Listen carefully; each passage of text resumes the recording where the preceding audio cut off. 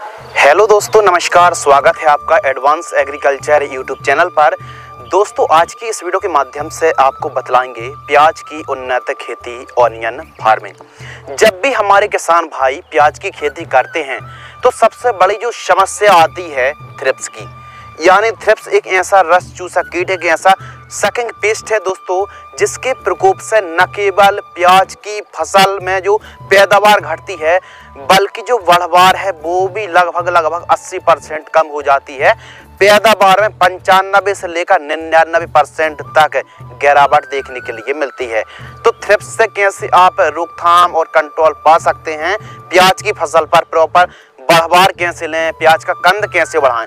तो संपूर्ण जानकारी के लिए और प्याज की खेती कैसे ग्रो की जाती है ज़्यादा पैदावार निकालने के लिए, कब कौन से उर्वरक खादों की न्यूट्रिएंट की आवश्यकता पड़ने वाली है, इस वीडियो के माध्यम से चाहे स्प्रे शेड्यूल हो, फर्टिगेशन शेड्यूल हो ए टू जेड संपूर्ण जानकारी दोस्तों विस्तार के साथ डिटेल के साथ शेयर करने वाले हैं। चैनल पर पहली बार विज़िट कर रहे हैं तो चैनल को सब्सक्राइब कर लीजिए। चलिए दोस्तों, शुरू करते हैं। आज का हमारा विषय है ऑनियन फ़ार्मिंग प्याज की उन्नत खेती। वीडियो में आगे बढ़ने से पहले आपको थोड़ा सा जानकारी दे दें कि जो थ्रिप्स है दोस्तों, इसको कंट्रोल करना बहुत ज़्यादा ज़रूरी है। जब थ्रिप्स का प्रकोप होता है स्टार्टिंग पर तब कोई भी हल्के रेंज की इंसेक्टिसाइड काम कर जाएँगी। लेकिन थ्रिप्स का प्रकोप जैसे जैसे बढ़ता जाता है और यदि आप थ्रिप्स को नज़रअंदाज करते हैं दोस्तों तो इसे कंट्रोल कर पाना काफ़ी ज़्यादा मुश्किल वाला काम होता है। स्टार्टिंग के दिनों पर दोस्तों थ्रेप्स को कंट्रोल करने के लिए आप जैसे फेप्रोनल 0.5 परसेंट का स्प्रे कर सकते हैं सिजेंटा कंपनी की अली का इंसेक्टिसाइड का स्प्रे कर सकते हैं प्रोफेनो साइपर का स्प्रे कर सकते हैं, इसके अलावा साइपर मैथ्रीन का स्प्रे कर सकते हैं दोस्तों लांसर गोल्ड है बायर कंपनी की सोलमैन इंसेक्टिसाइड है घरडा कंपनी की पुलिस जैसी इंसेक्टिसाइड का स्प्रे कर सकते हैं और रिज़ल्ट भी भरपूर निकाल सकते हैं।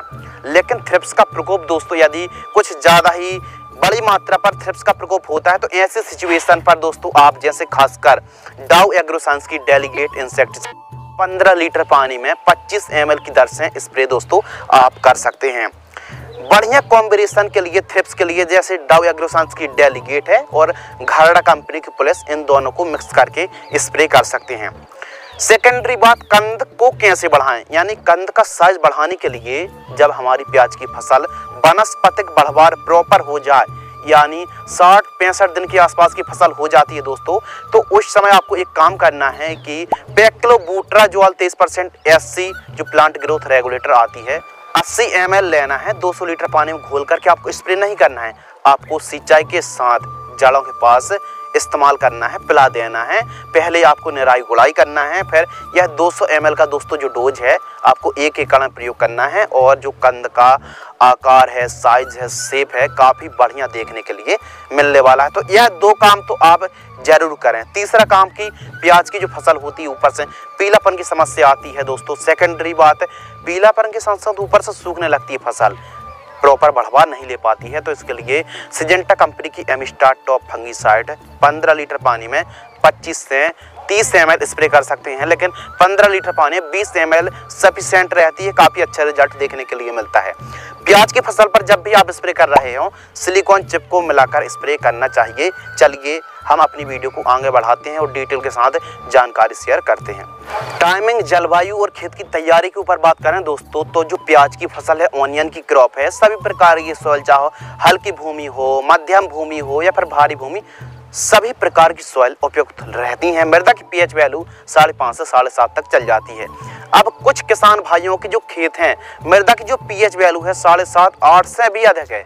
तो ऐसे सिचुएशन पर आप 50 किलोग्राम यदि आठ से, साढ़े आठ से अधिक मृदा की पीएच वैल्यू है, अधिक एल्कलाइन है तो 50 किलोग्राम जिप्सम बुआई के समय खेत की तैयारी करते समय प्रयोग ज़रूर करना चाहिए। खेत की तैयारी के समय गोबर की खाद, दो से तीन ट्रॉली आपको प्रयोग करना चाहिए और प्याज की जो खेती है, रबी सीज़न और खरीफ सीज़न, दोनों सीज़न पर आप ग्रो कर सकते हैं।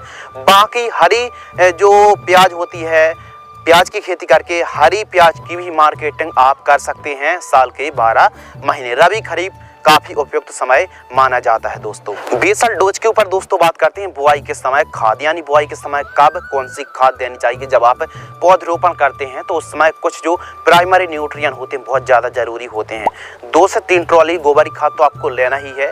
एसएसपी सिंगल सुपर फास्फेट और उर्वरक खाद दोस्तों आपको लेना है सौ किलोग्राम। डीएपी पचास किलोग्राम और एमओपी म्यूरेट ऑफ़ पोटास आपको एमओपी लेना है तीस किलोग्राम। और यदि दीमक की समस्या देखने के लिए मिलती है वाइट ग्रब की समस्या देखने के लिए मिलती है तो कारोफ्यूरॉन है फिप्रोनल का आप प्रयोग कर सकते हैं। तीन किलोग्राम से लेकर पाँच किलोग्राम इन सभी को मिक्स करना है और जब आप खेत की तैयारी कर रहे हों, पौधरोपण करते समय इन खादों का आपको प्रयोग करना चाहिए। सेकेंडरी बात, प्याज जो फ़सल है, कंद वर्गी फ़सल है दोस्तों तो कंदों का विकास अच्छा हो तो कंद वर्गी जो फ़सलें होती हैं, बेड विधि से खेती आपको करना चाहिए। बेड पर आपको यदि प्याज को लगाते हैं तो फिर कंधों का विकास बहुत बढ़िया देखने के लिए मिलने वाला है।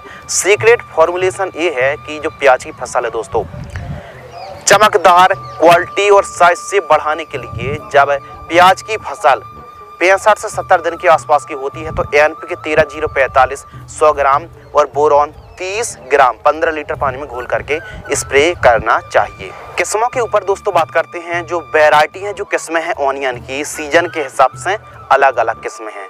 जैसे रवि सीज़न के ऊपर दोस्तों बात करें तो पूसा रेड है, पूसा लाइट रेड है, Jindal Nashik red N five three के नाम से आती है, और भीमा सुपर जैसी वेराइटी को आप लगा सकते हैं। खरीफ सीज़न के लिए दोस्तों एलोरा चाइना किंग है। इसके अलावा पंचगंगा है और प्रशांत हाइब्रिड जैसी वेराइटी को आप लगा सकते हैं, लेकिन काफ़ी अच्छा उत्पादन देने के लिए खरीफ सीज़न पर। एलोरा चाइना किंग और पंचगंगा दोस्तों जो वैरायटी हैं, काफ़ी अच्छी वैरायटी हैं, लाल छिलके वाली किस्में हैं और काफ़ी अच्छा प्रोडक्शन आप इन किस्मों से निकाल सकते हैं। अब कुछ भूमि ही होती हैं जिनका जिन पे उतना अच्छा हमको पैदावार उतना अच्छा प्रोडक्शन देखने के लिए नहीं मिलता है।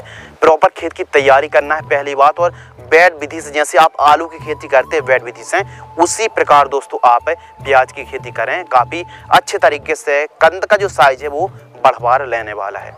वीडियो में आगे बढ़ने से पहले दोस्तों आपको एक और सीक्रेट फार्मूलेशन शेयर करते हैं कि कन्नों का विकास अच्छा हो तो इसके लिए जड़ों का विकास रूट डेवलपमेंट होना बहुत ज़्यादा ज़रूरी है। तो जड़ों का विकास कैसे हो? सबसे बड़ा सवाल ये है। तो दोस्तों, यूरिया और उर्वरक खाद के साथ आप ह्यूमिक एसिड का ज़रूर प्रयोग करें। तीस दिन से लेकर साठ दिन के मध्य कभी भी ह्यूमिक एसिड का यदि आप प्रयोग करते हैं तो कंदों का विकास, जड़ों का विकास अच्छा होता है। जब तक जड़ों का विकास अच्छा नहीं होगा, तब तक कंद का विकास पौधा उतनी अच्छी बढ़वार नहीं ले पाएगा। तो इसलिए ह्यूमिक एसिड का प्याज की फ़सल पर ज़रूर प्रयोग करना चाहिए। लेकिन फ़सल वैसे भी बहुत अच्छी बढ़वार ले रही है। फिर खाद दवाइयों का प्रयोग आपको लिमिट में करना चाहिए, कम मात्रा पर करना चाहिए। प्लांट डिस्टेंस के ऊपर दोस्तों बात करते हैं कि कितनी दूरी पर पौधरोपण करें तो चार से पाँच इंच यानी दस से बारह सेंटीमीटर की दूरी पर आपको पौधरोपण करना चाहिए। पौधे से पौधे की दूरी यानी सीड्स से सीड्स की दूरी दस से बारह सेंटीमीटर और लान से, लान की दूरी दोस्तों आपको 12 से 15 सेंटीमीटर रखनी चाहिए। सिंचाई के ऊपर दोस्तों बात करते हैं तो स्प्रिंकलर से खेती कर रहे हैं तो उतना अच्छा उत्पादन देखने के लिए नहीं मिलेगा। तो सिंचाई दोस्तों आप करें फ्लैट एरीगेशन से या फिर ड्रिप एरीगेशन से, यानी ओपन फ़ील्ड फ़ार्मिंग आप कर रहे हैं तो फ्लैट एरीगेशन सबसे बढ़िया है। प्रति एकड़ सीड्स के ऊपर दोस्तों बात करते हैं। जब भी आप नर्सरी तैयार कर रहे हो, कुछ किसान भाई डायरेक्ट फ़ील्ड पर सीड्स की बुआई कर देते हैं। पहले आप नर्सरी तैयार करें। जी हाँ दोस्तों, पहले आप पौधशाला पर पौध तैयार करें और नर्सरी 40 से 60 दिन के मध्य का दोस्तों समय लग जाता है पौध तैयार करने में और एक एकड़ में तीन किलोग्राम से लेकर 3.5 केजी यानी साढ़े तीन किलोग्राम सीड सफिशियंट रहता है, पर्याप्त रहता है। एक एकड़ के लिए और जानकारी प्रति एकड़ की दर से शेयर कर रहे हैं। खरपतवार नियंत्रण के ऊपर दोस्तों बात करते हैं। वीट कंट्रोल तो निराई गुड़ाई सबसे बेस्ट है। क्योंकि इस फ़सल पर खरपतवार नाशक का स्प्रे किया जा सकता है, लेकिन झटका आता है। तो जहाँ तक पॉसिबल हो, कुल्पा की सहायता से निराई गुड़ाई करें। मजदूरों की सहायता से निराई गुड़ाई करना बहुत ज़्यादा ज़रूरी होता है। तो निराई गुड़ाई करें, खरपतवार मुक्त फ़सल आपको रखनी चाहिए। दोस्तों, बात करते हैं स्प्रे शेड्यूल के ऊपर, जो कि काफ़ी ज़्यादा इम्पोर्टेंट और अनिवार्य है। देखिए स्प्रे शेड्यूल समझने से पहले समझते हैं कौन कौन सी बीमारी आती हैं। तो दोस्तों, प्याज की फ़सल पर कुछ गिनी चुनी ही बीमारी आती हैं। काफ़ी ज़्यादा नुकसान पहुंचाती हैं। जलेबी रोग है थ्रेप्स है एफिड जैसेड है कट वर्म है और पत्ती इल्ली के साथ साथ वाइट ग्राफ की समस्या देखने के लिए मिलती है दोस्तों। तो यह जो कीट बीमारी रोग का प्रकोप देखने के लिए मिल रहा है, इनके लिए स्प्रे करना स्प्रे चलाना काफ़ी ज़्यादा इंपॉर्टेंट होता है। तो जो फ़र्स्ट स्प्रे है 15 से 25 दिन के आसपास की मध्य की फ़सल होती है ट्रांसप्लांट से तो इन सभी को मिक्स करके 15 लीटर पानी घोल करके स्प्रे करना चाहिए। सेकंड स्प्रे 35 से 45 दिन की फ़सल होती है, इन तीन चारों को कीटनाशक को फंगीसाइड को मिक्स करके स्प्रे करना चाहिए। इस प्रकार दोस्तों, दो स्प्रे की आवश्यकता होती है प्याज की फ़सल पर। खाद शेड्यूल के ऊपर बात करते हैं। फ़र्स्ट खाद 20 से 25 दिन की फ़सल होती है तो इन तीनों खादों को प्रति एकड़ जड़ों के पास देकर सिंचाई करना चाहिए। सेकंड खाद 40 से 50 दिन के आसपास की फ़सल होती है 45 दिन तक में आप प्रयोग कर सकते हैं। इन तीनों को मिक्स करके प्रति एकड़ की दर से जड़ों के पास देकर सिंचाई करना चाहिए। पहले निराई गुड़ाई करें दो दिन की तेज धूप लगाएँ, फिर जड़ों के पास इन खादों को देकर सिंचाई करेंगे। बेहतरीन रिज़ल्ट देखने के लिए मिलेंगे। उत्पादन के ऊपर दोस्तों बात करते हैं। एक एकड़ पर प्याज का जो उत्पादन है 130 से 150 क्विंटल के आसपास उत्पादन देखने के लिए मिलता है। लागत एक एकड़ में 25 से तीस हज़ार रुपये। लाइफ साइकिल लगभग लगभग चालीस दिन के आसपास नर्सरी तैयार होने नब्बे दिन में फ़र्स्ट हार्वेस्टिंग के लिए, यानी हार्वेस्टिंग के लिए तैयार हो जाती है। तो 130 से 135 दिन के आसपास का समय दोस्तों लग जाता है प्याज की फ़सल पर। मुनाफा के ऊपर दोस्तों बात करते हैं, पंद्रह रुपए के का रेट मिलता है, यानी पंद्रह सौ रुपये क्विंटल।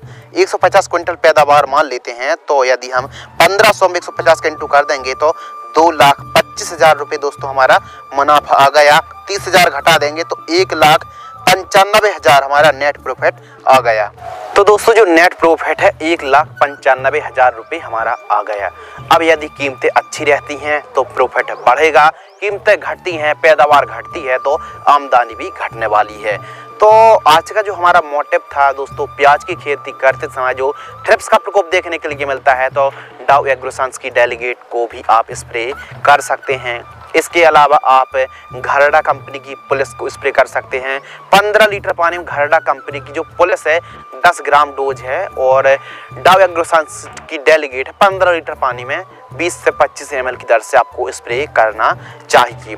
ऊपर से सूख रहा है एमस्टाटॉप फंगीसाइड का स्प्रे कर सकते हैं कॉपर ऑक्सीक्लोराइड का स्प्रे कर सकते हैं दो पाउंड की करजट का भी आप स्प्रे कर सकते हैं। स्टार्टिंग के दिनों पर एम पैंतालीस में जब पचहत्तर परसेंट है। प्रोपिनिप जैसी फंगीसाइड का आप स्प्रे करके अपनी फ़सल को प्रोटेक्ट कर सकते हैं फंगस मुक्त कर सकते हैं। तो फ्रेंड्स आज की इस वीडियो के माध्यम से आपको बतलाया, प्याज की उन्नत खेती, आप कैसे प्याज की खेती करके ज़्यादा से ज़्यादा लाभ निकाल सकते हैं, प्याज की खेती से ज़्यादा प्रॉफिट निकाल सकते हैं, कमाई कर सकते हैं। उम्मीद करते हैं दोस्तों, आज की इस वीडियो से आपको कुछ नया नॉलेजेबल इंटरेस्टिंग ज्ञानवर्धक सीखने के लिए ज़रूर मिला होगा। यदि आपको यह वीडियो पसंद आती है तो वीडियो को लाइक करें।